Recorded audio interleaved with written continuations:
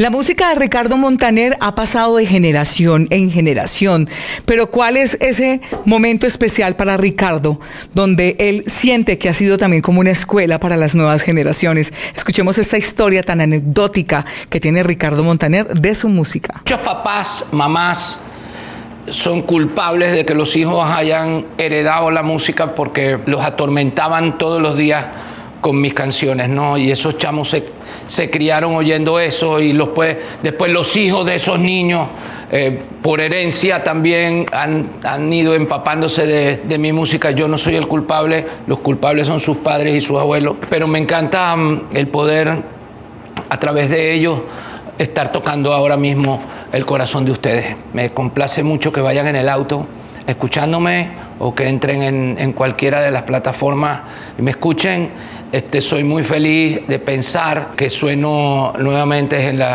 en las discotecas por ahí con, cuando les toca el, turno a las baladas.